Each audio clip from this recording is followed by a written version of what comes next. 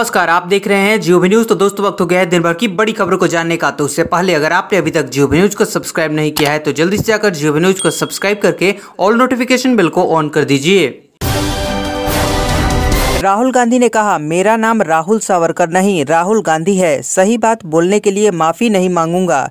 जी हाँ, दिल्ली के रामलीला मैदान पर शनिवार को कांग्रेस ने मोदी सरकार के खिलाफ भारत बचाओ रैली की। इसमें राहुल गांधी काफ़ी तल्ख नज़र आए। उन्होंने कहा कि यह देश पीछे नहीं हटता। मुझे कहते हैं कि सही बात बोलने के लिए माफ़ी मांगू। भाइयों बहनों, मेरा नाम राहुल सावरकर नहीं, राहुल गांधी है।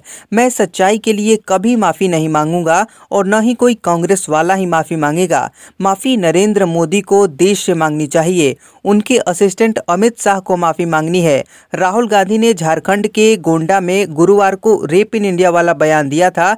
भाजपा का कहना है कि वे इस पर माफ़ी मांगे।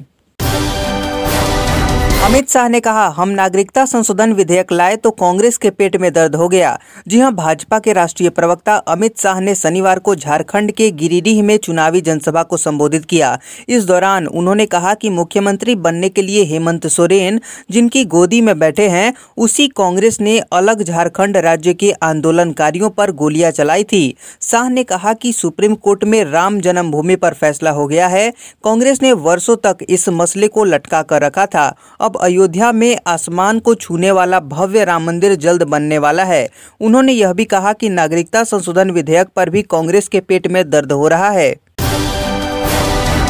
जदयू के प्रशांत किशोर अब केजरीवाल के लिए बनाएँगे चुनाव की रणनीति। जी दिल्ली में अगले साल होने वाले विधानसभा चुनाव के लिए आम आदमी पार्टी राजनीतिक रणनीतिकार प्रशांत किशोर की मदद लेगी।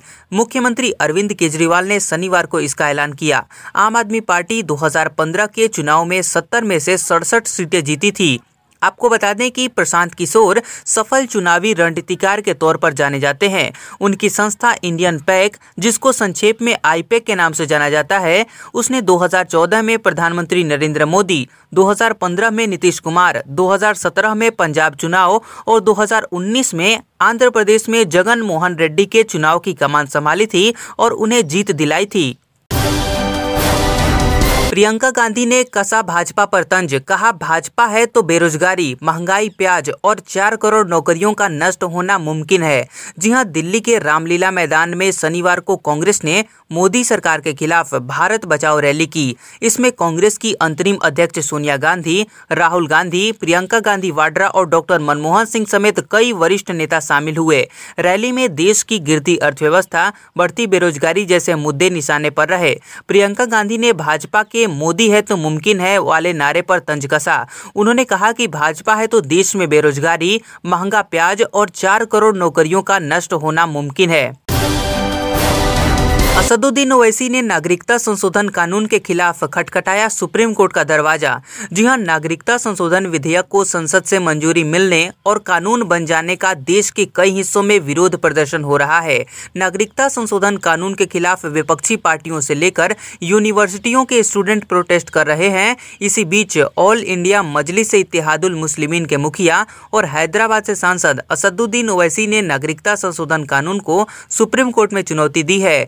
समाचार एजेंसी एएनआई से वकील निज़ाम पाशा ने कहा कि एआईएमआईएम नेता असदुद्दीन ओवैसी ने नागरिकता संशोधन कानून के खिलाफ सुप्रीम कोर्ट में एक याचिका दायर की है। आपको बता दें कि संसद में भी ओवैसी ने इस कानून का विरोध किया था और बिल की कॉपी भी फाड़ दी थी। मालदीव ने कहा, सताए अल्पसंख्यकों के लिए भारत महफूज, नागरिकता कानून उनका आंतरिक मसला। जी हाँ, मालदीव की मौजूदा सरकार में सर्वोच्च नेता और पूर्व राष्ट्रपति मोहम्मद नसीद ने कहा कि नागरिकता संशोधन कानून पूरी तरह से भारत का आंतरिक मसला है। नसीद लोकसभा अध्यक्ष ओम बिरला और राज्यसभा के सभापति वेंकैया नायडू के न्योते पर भारत आए हैं। नसीद ने शुक्रवार को कहा कि भारत दूसरे देशों के सताए हुए अल्पसंख्यकों के लिए सबसे सुरक्षित स्थान है। उन्होंने अपना ही उदाहरण उदाहरण देते हुए कहा कि जब मालदीव में अब्दुल्ला यामिन की सरकार ने उन्हें गिरफ़्तार करने की कोशिश की थी तो भारतीय उच्चायोग ही था जिसने उन्हें शरण दी थी।